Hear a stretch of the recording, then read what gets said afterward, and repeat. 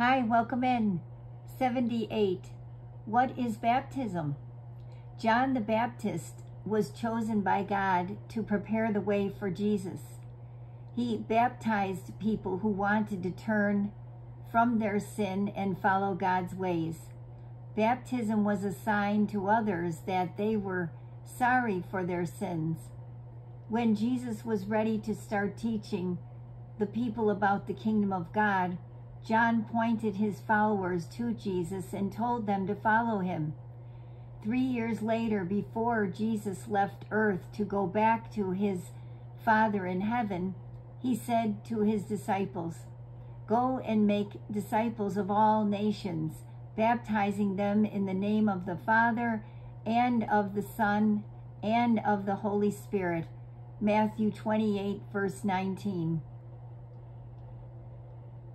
The baptism that Jesus spoke of is a sign that we have left our life of sin and have decided to follow Jesus.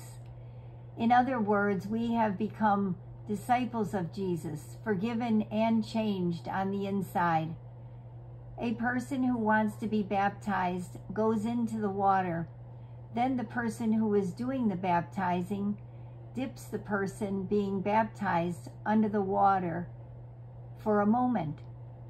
Going under the water shows how your old life of sin has died and is buried. As you come up out of the water, it shows how you have risen to a new life in Christ, for you were buried with Christ when you were baptized.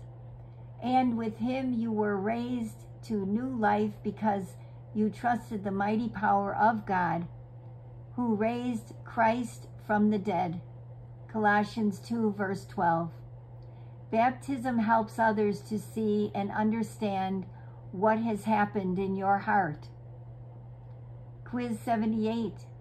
What did John the Baptist eat? Matthew 3 verse 4.